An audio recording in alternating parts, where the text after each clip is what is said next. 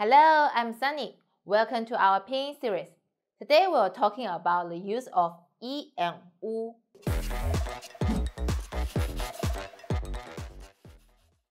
If you see my video before, when I'm talking about initials, I not told you we have initials e or initials u.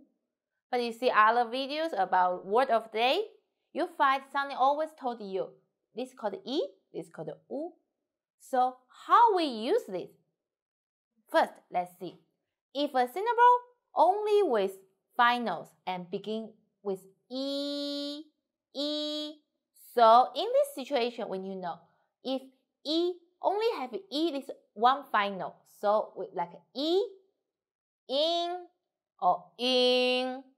In this situation, we will add this y, we call it e, so we like like e, in, in. So we write like this. It look more beautiful. But when you pronounce, you need to pronounce this one. Okay. But if the syllable begin with e and follow with other final, like ya, ye, yao, yan, yang, yong, so in this finals, we need to no need to e. We directly write like this: ya, ye, yao, yan, yang, yong, and this is special one. Do you remember this is actually is what?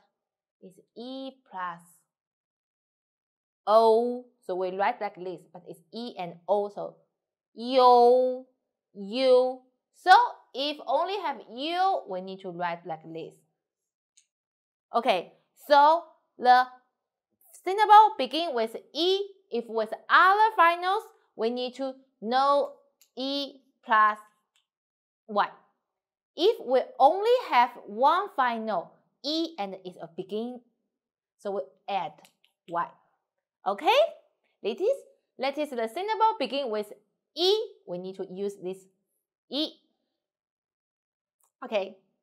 Second, if the syllable begin with final u, final u, so we need to check if only one final only have u have without other finals, like u, we need to add this step we call u before. So called u, u. But if the syllable besides wu still have other final like wa, wo, wai, wan, wong, and wong. So in this situation, we need to change this wu to this one. So wa, wo, wai, wan, wong, wen. Okay, let's come back to this two special one. You see, besides u, this one have final, this one without final. But we need to know this wei is actually u plus a. So have finals, we need to write like this way.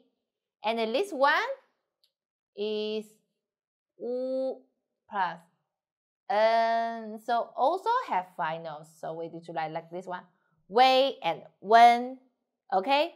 So if a syllable begin with u and without any initial, we need to know no final plus w.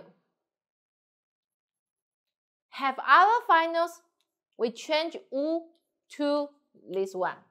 Change u to this one. Okay? That is about u. Okay, number three. The syllable begin with yu, yu. So remember, in finals, yu and the e is best friends. So if a syllable begin with yu, no matter follow other final or not, like yu, yue, yun, yuan, just add this e before and the two dot disappear yun, and yuan.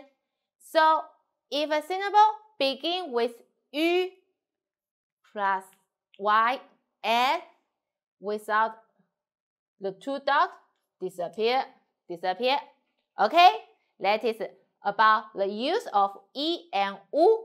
Did you got it? If you liked this video, please like and share to your friend. Thanks for watching. See you next time. 再见。